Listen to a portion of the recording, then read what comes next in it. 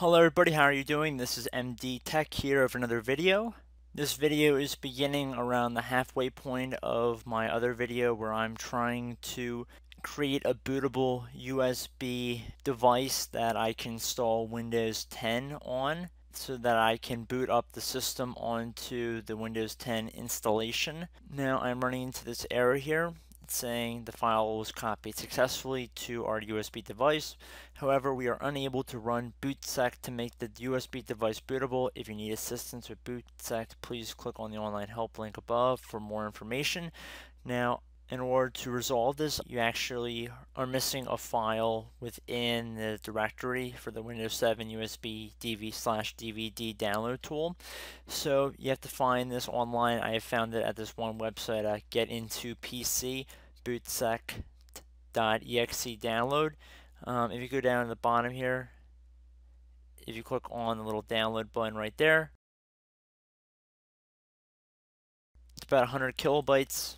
We'll just save it to the desktop for right now just so we can find it.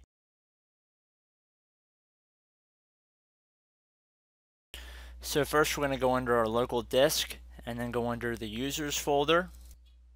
So we go under our computer name, click on app data. Now it's important to know you have to have your hidden files and folders visible. So you have to go under folder options and select the option that you can show all files and folders. So we're going to go under app data, local, and then under apps, we see our Windows 7 USB DVD download tool. Double click on that. We're going to basically drag and drop this boot bootsect right into there.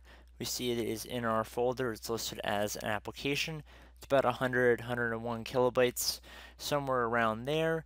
If we close out of there and then we start over, let's see if we are able to get our ISO file burnt onto our USB device.